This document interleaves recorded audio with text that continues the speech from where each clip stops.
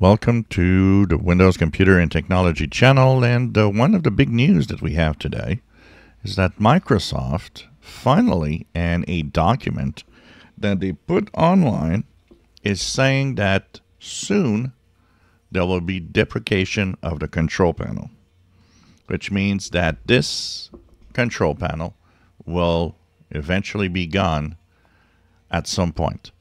So it's the first time that Microsoft does say anything about the control panel going away.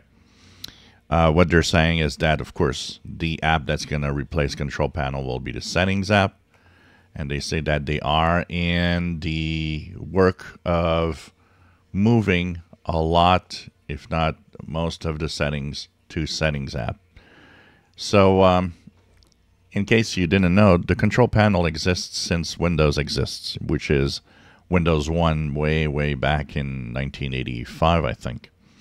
And what happens is that uh, still a lot of settings are here. And I know some people don't want this to go away because they're used to the control panel. But we have to face the, the reality that two settings panel, one is control panel and the other one's the settings, just, you know, it's, it's the nonsense of Windows right now.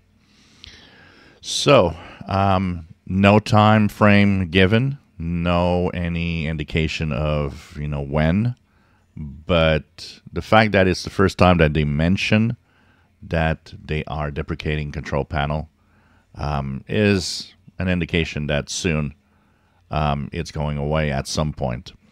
Soon is what a year, two years, but uh, at some point it'll, it'll be gone. Uh, one of the things they had mentioned is that one of the reasons they kept the control panel is because there's some compatibility issues that uh, Windows needs that uh, make the control panel right now still something that has to be there. Of course, they are saying when you are going to check settings about going to the settings app most of the time. And I have to say that going through the control panel is something that I don't have to do much anymore, as a lot of the main settings are in the settings app.